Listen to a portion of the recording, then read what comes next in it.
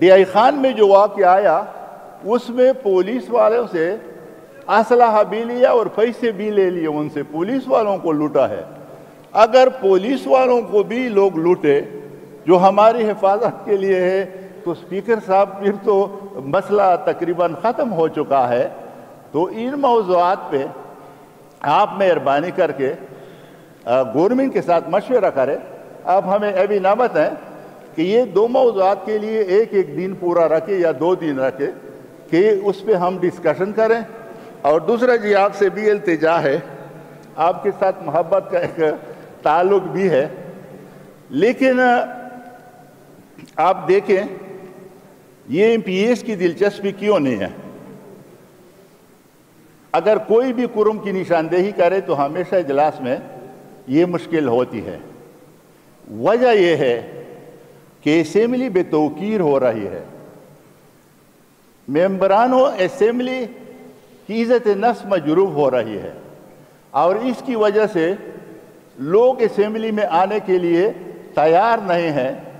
और इसकी मेन वजह यह है कि यहाँ पर अगर आप कोई रूलिंग देते हैं, उस पर भी अमल नहीं होता। मिनिस्टर साहब जो हमारे साथ इंश्योरेंस देते हैं, उस पर भी कोई अमल नहीं होता। तो जब असम्बली का वकार ख़त्म हो जाए और तकरीबन मौजूदा हुकूमत में लोग अभी वजरा के पीछे नहीं देख रहे हैं मेम्बरान असम्बली को नहीं देख रहे हैं, वो ब्यूरोक्रेसी को देख रहे हैं और आज तक जो कोई मुतालबा करता है, वो कहता है कि मेरी कमिश्नर से ये मुतालबा है कि ये काम करें। डीसी साहब से मेरा ये मुतालबा है और ज़्यादातर जो डेवलपमेंट के काम हैं वो एमपीएस के थ्रू नहीं हो रहे है, वो वहाँ पर एडमिनिस्ट्रेशन ही करवाती है। तो अगर ये असेंबली जिसके आप हेड है, आप पे ज़्यादा ज़िम्मेदारी आती है। अगर असेंबली की इतनी बेतौकीरी है कि असेंबली के लिए वहाँ पर महक में जो है, वो असम्बली को सवाल भी सही नहीं भेज रहे और जब आप बुलाते हैं तो सेक्रेटरी भी नहीं आते हैं। तो मेरी एक तो दरख्वास्त ये है कि पहले तो असम्बली जो चलती थी, हफ़्ते में तीन दिन होते थे पीर को, मंगल को और जुमे को। अभी महीने में दो दिन है ये। महीने में फिर इजलास तकरीबन 20 दिन तक, महीने तक मुलतवी किया जाता है और फिर अभी आज मुझे पता है कि आज तो है, लेकिन अभी दोबारा कल होगा, नहीं होगा तो इन सब बातों से आपसे हमारे तो हैं। और इसके ज़्यादा ज़िम्मेदार आप हैं। हकूमत को आपने लगाम लेना है। और इधर तो हम डायरेक्ट किसी वज़ीर से बात भी नहीं कर सकते।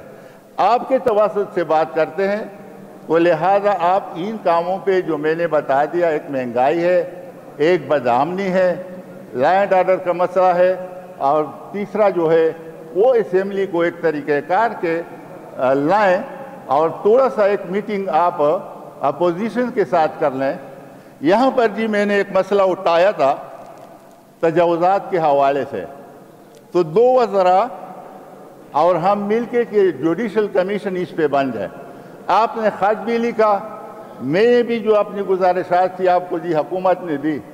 अभी छः महीने हो गए कि जुडिशल कमीशन नहीं बन रहा है। अगर आपकी रूलिंग आपका ख़त वो सूबाई हुकूमत रदी टोकरी में पेंगे तो मेरे ख्याल में इस ऐवान की इज़्ज़त आपसे वाबस्ता है। अगर आपका वकार हो, इस असम्बली का वकार हो तो फिर ये हम समझेंगे कि हमारे स्पीकर साहब की काविश है। तो मैं एक बार फिर आपका शुक्रिया भी अदा करता हूँ। दूसरा जी, लोकल गवर्नमेंट का इलेक्शन है। वो भी पूरी कौम अजीब सी मखमसे में है। ऊपर जमाती था नीचे गैर जमाती था अभी तीन तीन काउंसलर है ये। जब आप टिकट देंगे तो तीन लोगों को किस तरह देंगे? तो ये भी एक ज़रूरी मसला है कि इस पे भी थोड़ी सी एक यकसुई हो जाए, क्योंकि लोगों अभी फार्म भी भरवा रहे हैं और 10 तारीख तक आखिरी तारीख है, लेकिन दरमियान में हुकूमत ने कहा है कि हम जा रहे हैं सुप्रीम कोर्ट में या उसमें। मेरे साथ भी रबता हुआ था तो उस पर मैंने कहा कि हम मंडे को एक मीटिंग बुला लेंगे और फिर आपसे बात करेंगे। तो अभी मैंने मीटिंग बुलाया था अपोजिशन की और मैंने शौकत यूसुफदाई साहब को फ़ोन भी किया। इश्तियाक उमर साहब तो आ, मेरे पास आ, उस वक़्त उससे बात हुई थी। तो उस पर भी कोई यकसुई की ज़रूरत है कि कम अज़ कम ये अहम मसले जो है उसको हम ज़रा संजीदगी से ले लें। आपका बहुत बहुत शुक्रिया। दो जो आम आपने नुकात उठाए दुरानी साहब, एक महँगाई वाला और एक लाइन ऑर्डर तो इस पे किसी भी ऑनरेबल मेंबर से एडजर्नमेंट मोशन पेश करवा दें एडमिट कर लेंगे और उस पर डिबेट आ जाएगा फिर। किसी भी ऑनरेबल मेंबर से एडजर्नमेंट मोशन पेश करवा दें